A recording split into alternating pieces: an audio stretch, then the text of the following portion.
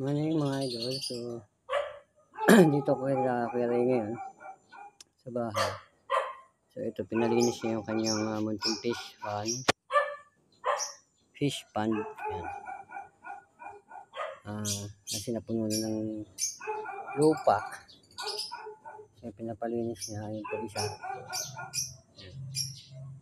At tanggalin natin yung mga screen para malinis kasi pinakapitan ng mga baging-baging. So itong dalawang maliit, eh okay na, medyo nalinis ko na, naayos ko na. So doon na tayo sa uli. Ah, tutumpok natin mga bato sa gitna, parang uh, gagawin natin parang uh, isla kanyari.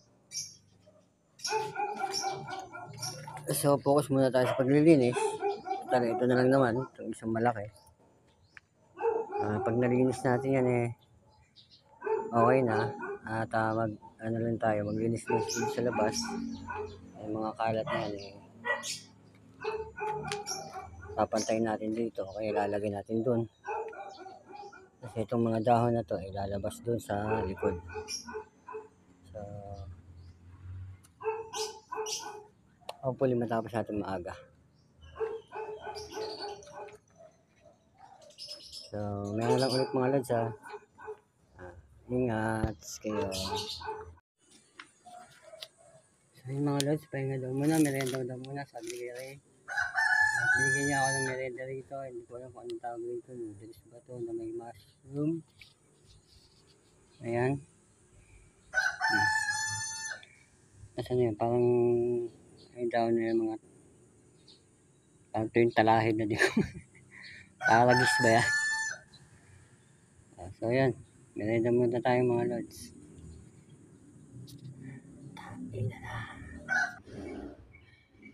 So, yun mga idol. Ah, okay na. Ah, nilinis na natin itong ah, malaking fish pan ni Gary. At naayos ko na rin yung sinasabi ng parang isla. So, ewan ko lang kung tama itong ginawa ko. Ito, ito Ayan, tara! Yung mga batong yan, yan yung nakatambak dito kanina. Yan, nilipat natin sa gitna. Yan, parang isla daw. Yan. Pwede siguro yan. Tapos, ito na lang ang gagawin natin. Itong mga lupa na to. Papalahin natin to papunta dito. Kasi dyan pinatatambak. Eh, Kuya So, pag hindi nagkasya dyan, ikakalat natin yan baka dyan na lang. Sasabog natin yan dyan. Ito yung mga lupa na yan. Yan, yan. Yan, mga lupa na yan. Ikakalat naman natin yan dun. Mataas dun. O kaya dyan din banda.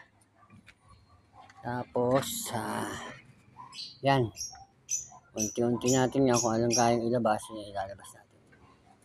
So, konti na lang mga idol. Tapos na tayo. Uh, konting kembot na lang ba?